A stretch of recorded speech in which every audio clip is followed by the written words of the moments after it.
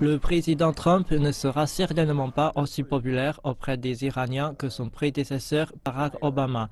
C'est en effet Barack Obama qui avait mené les États-Unis à devenir un des signataires d'un accord nucléaire historique avec l'Iran en juillet 2015 qui avait permis de lever les sanctions internationales contre Téhéran. Les États-Unis, avec les cinq autres signataires, la Russie, la Chine, la Grande-Bretagne, la France et l'Allemagne, avaient déclaré que l'accord permettait effectivement de réduire la possibilité de l'Iran de développer des armes nucléaires. Mais au cours de la campagne présidentielle américaine, Donald Trump avait décrit l'accord comme étant le pire accord jamais passé et avait menacé à plusieurs reprises de s'en débarrasser. Mercredi, Donald Trump a approuvé de nouvelles sanctions qui visent aussi la Russie et la RBDC.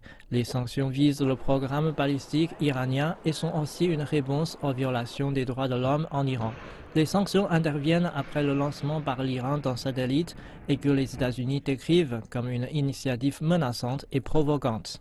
L'interdiction de voyager aux États-Unis imposée par Donald Trump aux habitants de six pays à majorité musulmane, dont l'Iran, a aussi mécontenté Téhéran.